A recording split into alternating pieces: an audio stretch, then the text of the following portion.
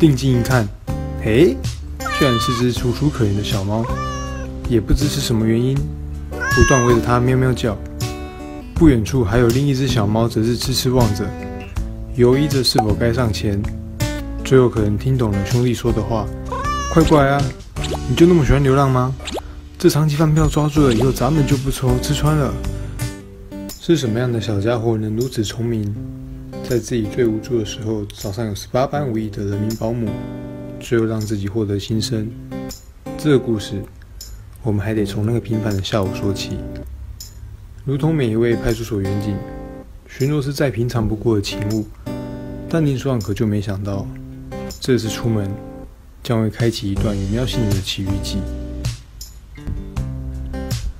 所长如同每日上班日常，骑上了机车，正打算好好巡视自己负责的辖区，看看能否顺道抓几个为非作歹的坏蛋，好好打击犯罪一番。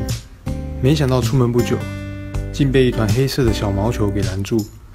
定睛一看，嘿，居然是只楚楚可怜的小猫，也不知是什么原因，不断围着它喵喵叫。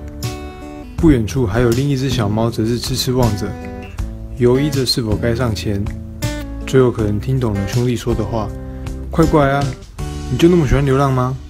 这长期饭票抓住了以后，咱们就不愁吃穿了。兄弟俩最后就这样在所长身边徘徊，迟迟不离去。然而，我们林所长也是有 sense 的，知道不能随意碰触这两只小猫，以免沾染到人类气味而被之后找孩子的母猫所遗弃。但等了许久，迟迟未见到外出找小猫的母猫，看来这两个孩子已被母亲抛弃了。万万没想到，一般再平凡不过的巡逻勤务，竟与两只小生命擦出火花。而回到驻地的所长，实在想不到。自己为何会成为天选之人？左思右想，最有可能的原因，难道是因为派出所内有只即将临盆的母猫，导致自己身上有猫的气味，吸引了两只小猫的注意吗？原来所长到湖内派出所任职后，便发现到派出所周边有数只野猫出没，后方停车场所停放车辆上头也常可以见到猫只玩耍的脚印。由于曾有养猫经验。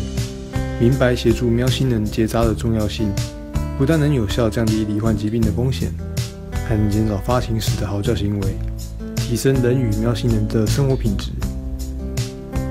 就在今年三月间，所长偶然发现，时常在派出所后方出没的猫只里，一只虎斑猫壮士怀有身孕，考量母猫生产与后续结扎等问题，多方咨询后，决定购置诱捕笼进行诱捕。经过一番努力，总算成功抓住这只怀孕母猫。母猫也在四月中旬平安生下四只小猫，整个派出所瞬间可谓喵气爆棚。